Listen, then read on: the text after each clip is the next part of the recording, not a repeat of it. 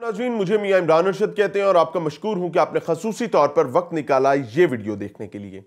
नाजरीन, पंजाब और पंजाब का इलाका, जनूबी पंजाब, खसूसी तौर पर ज़िला रोजान इस वक्त एक ऐसी खौफनाक सिचुएशन में है कि अल अमान अल हफीज़ माजी में ऐसे मामला बहुत कम हुए हैं। जो चीज़ें मैं आज आपके सामने रखने जा रहा हूँ, ये इस वक्त जनूबी पंजाब ही नहीं, बल्कि सेंट्रल पंजाब के इलाके गुजरावाला तक पहुँच चुके हुए हैं। और यहाँ से लोगों को उठाया जा रहा है और उठाकर उनको राजनपुर और रोजान के इलाकों में ले जाया जा रहा है, जो कि जनूबी पंजाब के इलाके हैं और बिल्कुल बॉर्डर एरिया है। इसके मजाफात और इसकी जोग्राफी अगर बताना चाहूँ तो दरियाए सिंध का ये इलाका है और ये पट्टी है जो दरियाए सिंध पर के साथ साथ चलती है और रुझान वाली साइड पर पंजाब में आ जाती है और दूसरी जानब कश्मौर वाली साइड जो है, वो सिंध का आखिरी और पहला जिला बन जाते हैं। ये पट्टी इस वक्त ना सिर्फ़ पंजाब के लिए बल्कि सिंध के लिए भी खतरनाक तरीन पट्टी बन चुकी हुई है।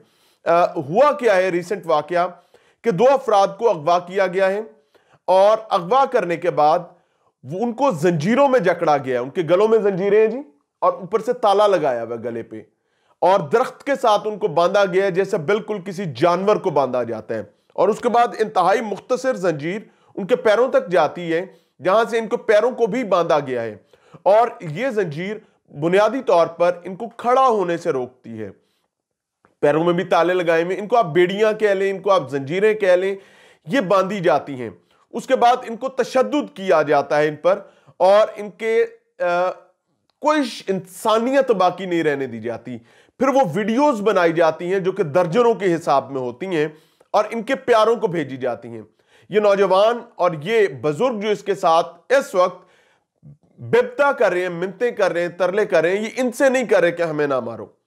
वो अपने प्यारों से कर रहे हैं कि जो ये रजील, जलील और कमीने लोग कह रहे हैं, इनकी बात मान लो, सब कुछ बेच दो, जो जो तुम्हारे पास है, कहीं से कर्जे पकड़ने पड़ते हैं, पकड़ लो, बस हमें यहाँ से बचा लो। इसके पीछे कहानी क्या है, वो भी आपके सामने रखूँगा। इसकी तफसीलात ज़रूर बताऊँगा, लेकिन एक रिक्वेस्ट करना चाहूँगा कि अगर अब तक आपने इस यूट्यूब चैनल को और फेसबुक पेज को सब्सक्राइब और फॉलो नहीं किया तो बरए करम मेरी एक हम्बल रिक्वेस्ट है, ज़रूर कर लीजिए एंड स्टे कनेक्टेड अब आते हैं मुद्दे की तरफ़। खुदा बख्श लुंड नाम का एक डाकू है जिसकी तस्वीर इस वक्त आप अपनी स्क्रीन पर देख सकते हैं। इस शख्स को पुलिस मुकाबले में मार दिया गया।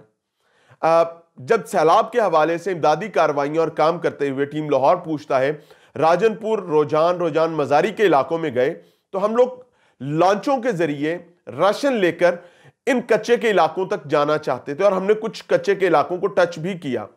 लेकिन आगे जाते हुए हमें पुलिस ने भी रोक दिया, रेस्क्यू 1122 ने भी रोक दिया। हमने उनसे कहा कि, यार ऑब्वियसली वो डाकू हैं, ठीक है, लेकिन वो भी इंसान है। इस वक्त उनके घर भी डूब चुके हैं, उनके मवेशी भी मर चुके हैं उनकी खातन और बच्चे ऑब्वियसली वहाँ पर मौजूद हैं। उनको भी राशन, पानी और रोटी चाहिए। उनको भी कपड़े चाहिए, उनको भी छत चाहिए, उनको भी खेमे चाहिए, उनको भी टेंट्स चाहिए। लेकिन इन तमाम लोगों ने हमें स्ट्रिक्टली मना किया और बल्कि यहाँ तक कह दिया कि अगर आप कोई लॉन्च ले जाना चाहते हैं तो लॉन्च आप ले जा सकते हैं, यानी कश्ती ले जा सकते हैं। हम आपको ज़्यादा नहीं रोकेंगे। लेकिन वापसी की ज़िम्मेदारी हमारी नहीं है। वहाँ पर क्या होगा? ये एक डिफरेंट कहानी है। और उसके बाद ऑब्वियसली बिंग वेरी ऑनेस्ट हम आगे नहीं गए। हम नहीं जा सके। जहाँ तक हमें वो उन्होंने एक्सेस दी, हमने उसको अवेल किया, मजीद आगे हम नहीं बढ़ सके। तो ये चीज़ उस वक्त मुझे खटकती थी। मुझे परेशान करती थी कि यार, क्या है? इंसानियत कहाँ मर गई है? अब मुझे उस चीज़ का इदराक होने लगा अब चीज़ समझ आने लगी है कि वो सच्चे थे। अब ये गुजरावाला से दो नौजवान, जो कि आपस में दामाद और सुसर हैं उनको अगवा किया गया है और इनको एक बहाने से वहाँ बुलाया गया है जानवर देखने के लिए। ये दोनों व्यापारी थे, मवेशी खरीदने और बेचने का काम किया करते थे। भैंसें गायें, बकरे, फला फला फला। ये तमाम चीज़ें जो हैं, इनको खरीदा और बेचा करते थे। उनका कारोबार, उनकी रजक रोटी ये थी। अब आप खुद अंदाज़ा करें कि एक जो शख्स जानवर बेचता खरीदता है, दो जानवर खरीद लिए, चार खरीद लिए, छह खरीद लिए, दस खरीद लिए, बीस खरीद लिए, वो कितनी को बड़ी आसामी होगी? लेकिन इनको अगवा किया गया है दो करोड़ रुपए तावान के बस। ये गुजरावाला के रिहायशी हैं और इनके नाम बता दूँ। नवीद शाह, दामाद का नाम है और इसके सूसर का नाम यूनस है। और इनको एक धोखे के ज़रिए राजनपुर बुलाया गया था जानवरों की डील करने के लिए। इनसे रबता किया गया, डील तैयार की गई, डील मेच्योर होने पर एक मुनासिब दाम में, इंतहाई सस्ते दाम में कि जी हमारे पास सैलाब आया हुआ है हमारे पास खाने पीने के लिए कुछ नहीं है तो हमें अपने जानवर बेचने हैं। तो ये लोग सस्ते दामों मिलने वाले जानवरों की लालच में राजनपुर और रोजान चले गए। जब रोजान पहुँचे तो पता चला कि वो तो अगवा कर लिए गए हैं। उनके पास जानवरों की खरीदारी के लिए जो रकम थी, वो तो ले ली गई। लेकिन कहानी से आगे तब चलती है, जब इनको जदोकोप किया जाता है, मारा पीटा जाता है, इन पर तशद किया जाता है और गैर इंसानी हरकतें इनके साथ की जाती हैं। फिर उसके बाद इनकी वीडियोस बनाई जाती हैं दरख्तों के साथ बाँध कर और तशद किया जाता है और वो वीडियोस इनके अपने प्यारों को भेजी जाती हैं। उनको यह कहा जाता है कि दो करोड़ रुपए दे दो, इनको ले जाओ। पुलिस की कार्रवाई भी आपको बताऊँगा कि उनकी हदूद अब बाकी क्या रह गई हैं। अब फैमिली जो है वो कानून नाफिज करने वाले इदारों से रबता करती है।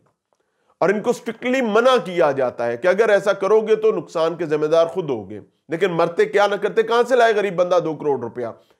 लेकिन वो पुलिस से रबता करते हैं और उसके बाद कहानी यह निकलती है कि कच्चे के इन डाकुओं की जो मामलात हैं, वो इस वक्त पंजाब पुलिस के कंट्रोल से बाहर हो चुके हैं।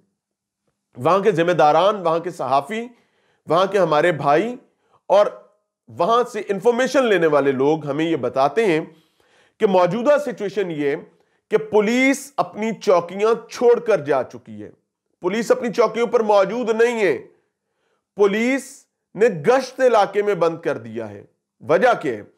कि एक पुलिस इनकाउंटर में खुदा बख्श लुंड नाम का इनका गैंग लीडर जो है, लुंड गैंग का लीडर वो मारा गया अब उसके कत्ल के बाद लुंड गैंग बदला लेना चाहता है और उसको अलल ऐलान बता चुके हैं कि हम बदला लेंगे पुलिस से और कानून नाफिज करने वाले इदारों से। इस बदले की इतलात के बाद पुलिस अपनी चौकियाँ छोड़कर थानों तक महदूद हो गई है, गश्त बंद कर दिया है। यहाँ तक के पोलियो मुहिम जो कि चलाई जा रही थी, उसके लिए भी पुलिस की जानब से तहफ़ देने से इनकार कर दिया गया है कि हम पोलियो वर्कर्स को के साथ मूव नहीं करेंगे, उनका तहफ़ उनकी सिक्योरिटी हम नहीं कर सकते। इनकार किया गया जी रिपोर्टेडली और उसके बाद मकामी सिचुएशन ये है कि इस वक्त राजनपुर और रोजान में लोग रात को अब नहीं निकलते वो शाम, मगरिब से पहले अपने घरों को वापस लौट जाते हैं और अगर बहुत ज़रूरी काम भी हो तो भी वो अगले दिन वो काम करने को तरजीह देते हैं, दिन की रोशनी में, ना कि रात की तारीकी में। दूसरी जानब जो लोग अफोर्ड करते हैं, उन्होंने बड़े जिम्मेदार, बड़े सियासतदान, क्योंकि बदला इन्होंने लेना है लोन गैंग ने, अगर किसी ने अपनी गाड़ी में वेपन रखा हुआ था तो अब उनके आगे और पीछे दो दो गाड़ियाँ मूव कर रही होती हैं, जो उनकी सिक्योरिटी पर मबनी होती हैं, उनको महफूज रखने के लिए इस लुंड गैंग से और कच्चे के डाकुओं से। यह सिचुएशन है जी करंटली और बदबख्ती है कि गुजरा वाला तक वो पहुँच गए हैं सेंट्रल पंजाब को वो हिट कर रहे हैं। लेकिन पुलिस की जानब से, कानून नाफिज करने वाले इदारों की जानब से एक पसपाई का रवैया बदकिस्मती से नज़र आ रहा है और अल्लाह करे कि ऐसा बाकी ना रहे। बहुत जल्द इस मामले को कोप अप कर लिया जाए। तो आज की इस वीडियो में ये तमाम हकायक आपके सामने रखने का एक बुनियादी मकसद था कि राजनपुर, रोजान, यहाँ के बासी, यहाँ के रिहायशी, फ्लड विक्टम्स हमारे दिल के बहुत करीब हैं। लेकिन अपनी जान का तहफ़ सबसे पहले है।